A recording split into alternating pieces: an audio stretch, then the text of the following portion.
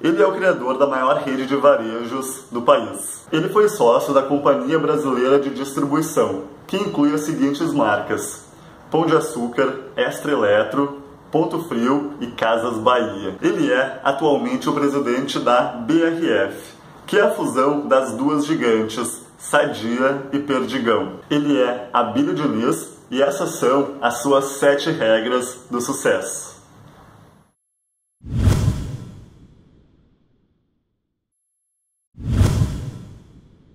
Eu costumo falar né, e dizer, falo nas minhas palestras, que eu não tenho nada de extraordinário, nada extraordinário. Né.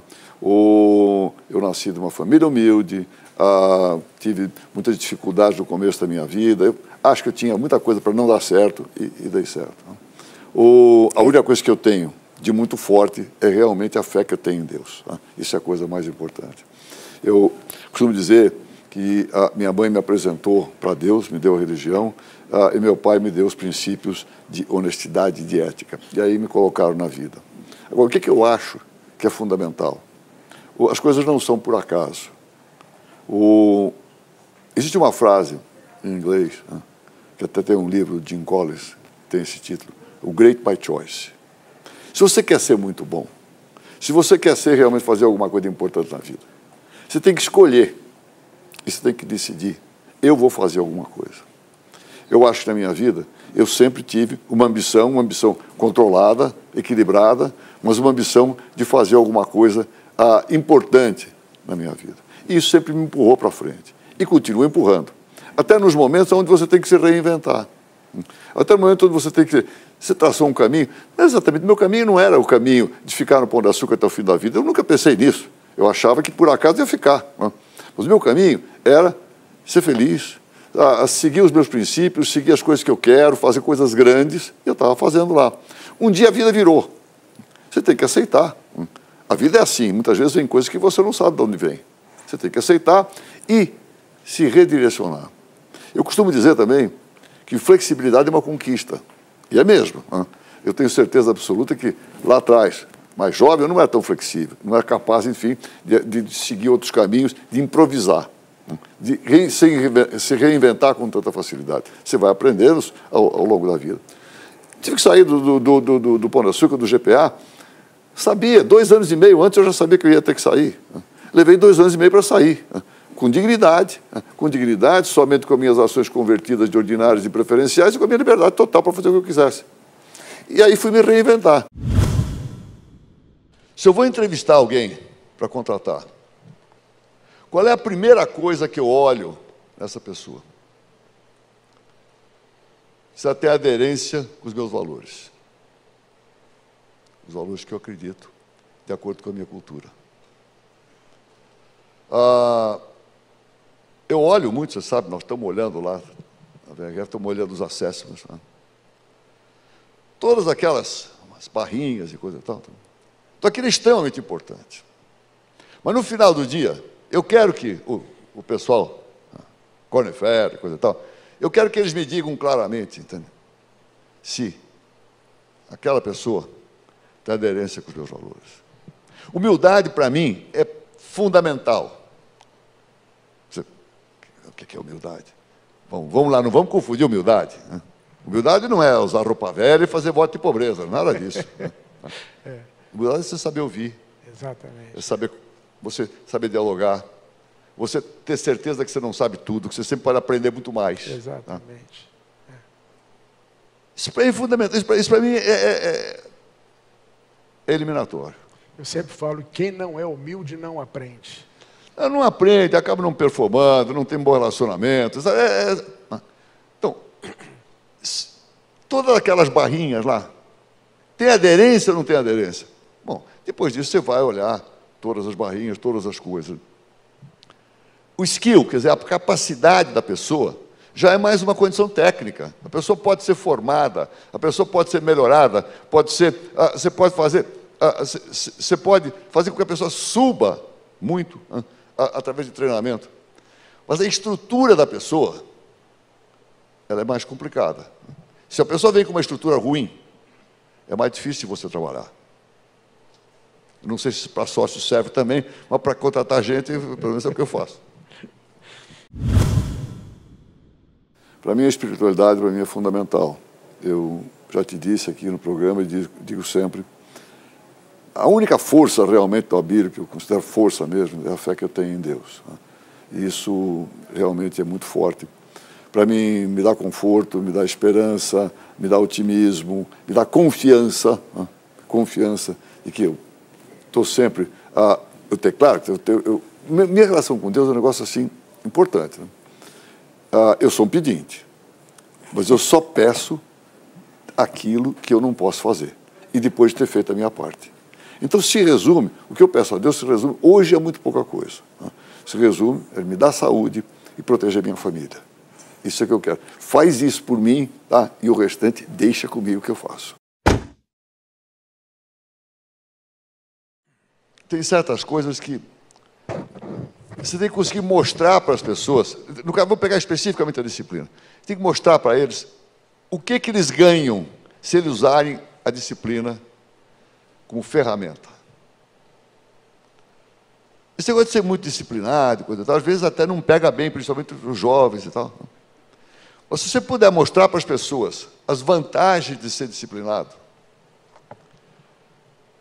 eu ah, sou um cara de rotinas. Tem muita gente que diz, pô, rotina, chato, isso é boring. Eu adoro as minhas rotinas. Eu que faço, eu que escolho. Quando tiver bom, eu mudo. Sem entender que se você tiver disciplina, disciplina o que é? É você ter agenda, é você não criar ilusões para não ter desilusões, é você não imaginar que você coloca 12 numa caixa de 6. E o cara até descobre, tipo, bum, 12 não cabe. Ah, mas eu sou o cara, eu boto 8. Não põe. É de 6, você só vai colocar 6. Se tiver algumas coisas que você. Ah, o que é disciplina? É você tentar se organizar, minimamente.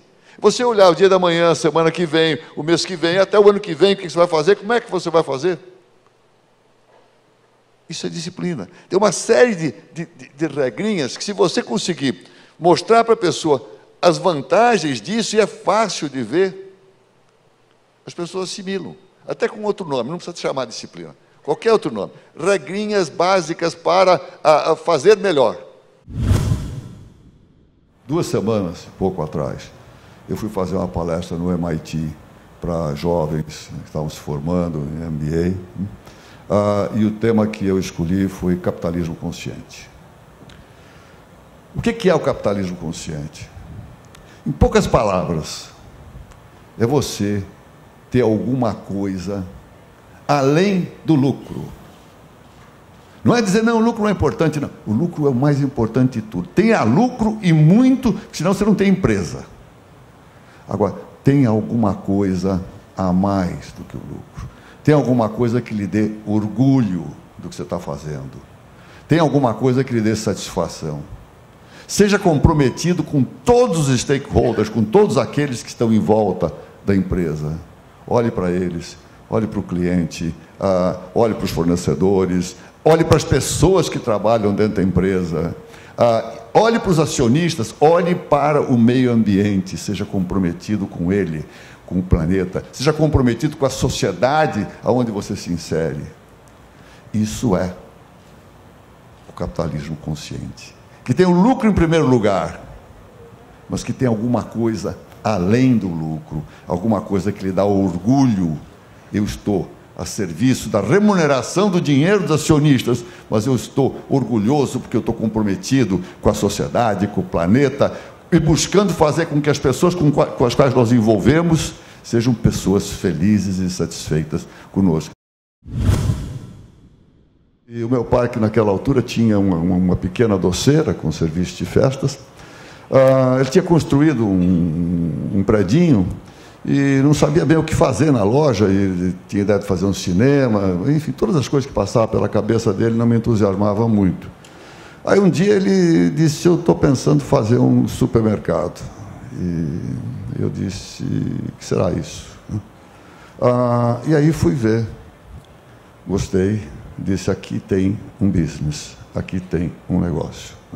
Ah, e aí lá se foi pelo espaço o meu application na Michigan State University.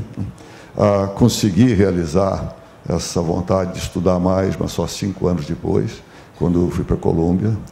Ah, mas aí começou a minha vida no campo da distribuição. E eu senti que ali tinha um negócio, ah, era muito novo no Brasil, era um negócio que fazia todo sentido, era um negócio que era mais eficiente. E o que eu aprendi rapidamente ah, nos meus estudos, que eu sempre estudei e continuo estudando até hoje, esse ramo da distribuição, ah, é que esse negócio é um negócio de grande volume. Então, ah, não é uma questão que a gente percebe se pode ou não crescer. Ah, o, o, sucesso ah, está exatamente no grande volume que você consegue ter no negócio evidentemente, com as margens baixas que o negócio tem. Ah, eu procuro dizer sempre para mim mesmo: eu quero ser hoje melhor do que eu fui ontem, amanhã eu vou querer ser melhor do que eu sou hoje. Ah, isso envolve crescimento. Primeiro, o crescimento pessoal. Acabei de falar para vocês, busquem aprender. Ah, mas envolve também um crescimento daquilo que você está fazendo. Não é que você seja obsessivo e que você nunca se contenta com aquilo que tem. Não, a gente precisa, é uma coisa que eu, que eu procuro passar para as pessoas, nós temos que saber amar aquilo que nós temos e não apenas aquilo que nós desejamos.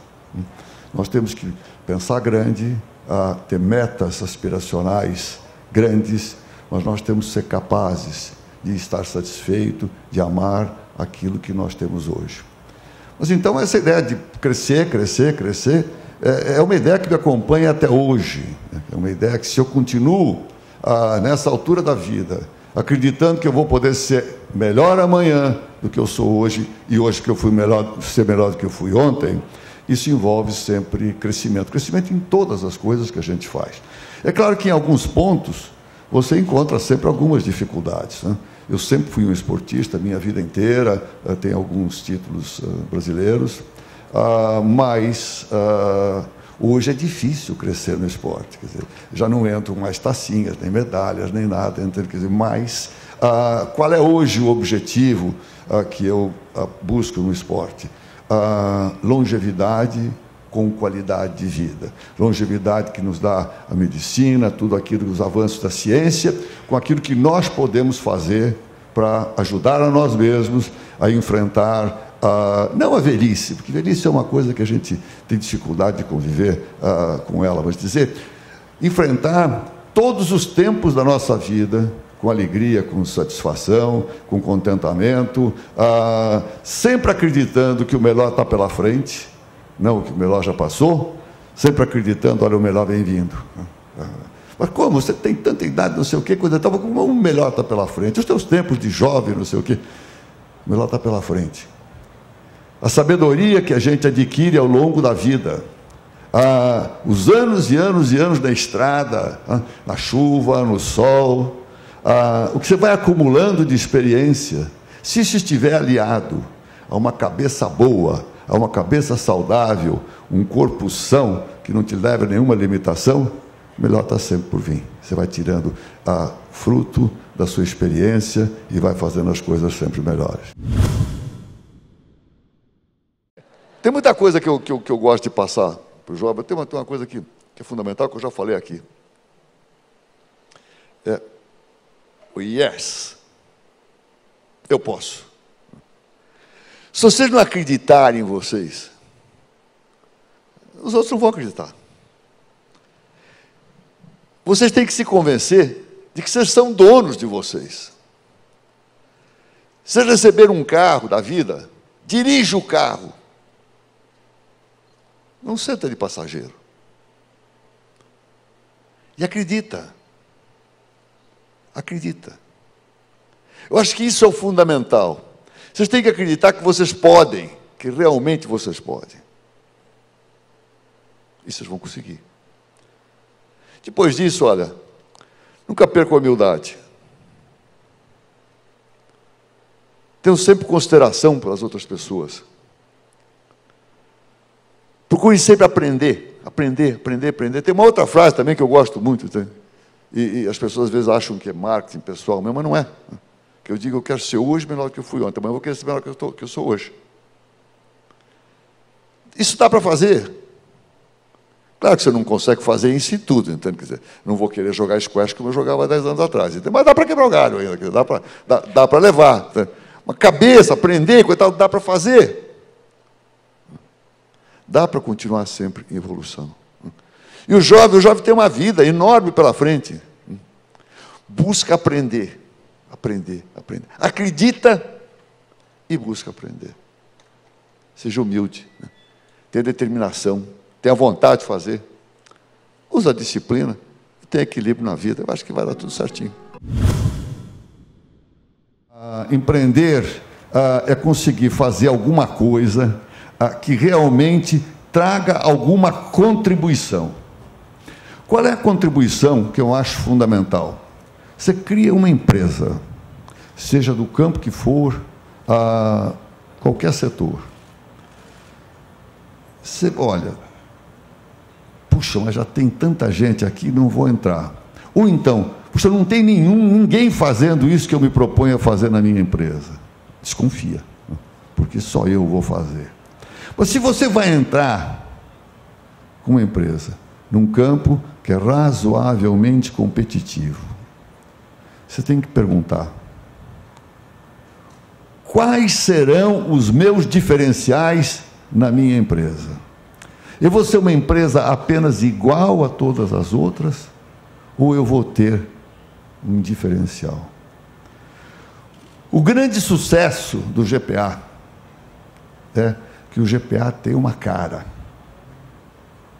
O GPA tem um rosto. O que o GPA, o slogan do GPA, Pão de Açúcar, lugar de gente feliz, é marketing, mas não é só marketing. Nós perseguimos isso. Nós fazemos lá na companhia, agora as coisas estão mudando um pouco. Nós fazíamos na companhia durante anos e anos e anos uma reunião que nós chamamos de reunião plenária, todas as segundas-feiras de manhã, às sete e meia da manhã, no auditório da companhia, quatrocentas e poucas pessoas sentadas lá. E uma das coisas que eu não canso de falar.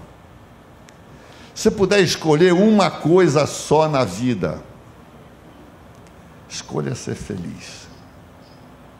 E ajeita todo o resto em direção a essa meta que você colocou na frente. Eu quero ser feliz. E vai ajeitando as coisas. Nós perseguimos ou perseguíamos isso sempre, sempre, sempre, sempre no Pão de Açúcar. Né? Isto é uma coisa que vocês, o que é empreender? Né?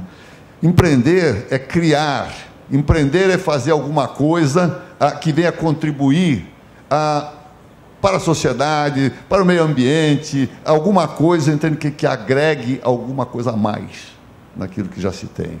Né? Agora, coloquem nesse empreendedorismo, coloquem essa meta, busquem como empreendedores serem felizes. Levem o resto todo, ajeitem para vocês não perderem esse rumo. Busquem sempre a felicidade. Agora eu quero saber se você gostou desse vídeo. Se gostou, deixa aqui embaixo um comentário me dizendo qual foi a regra que você mais gostou e se você gostou mesmo e acredita que esse vídeo pode ajudar outras pessoas, compartilha esse vídeo com pelo menos um amigo seu, porque eu tenho certeza que esse vídeo e essas regras pode inspirar outras pessoas e não somente inspiração, mas fazer com que elas tomem ações diferentes, que elas comecem a agir de forma diferente. Mas é isso então, muito obrigado pela sua atenção até agora. Deixa aqui embaixo um comentário, compartilha esse vídeo e a gente se vê de novo no próximo episódio. Até mais!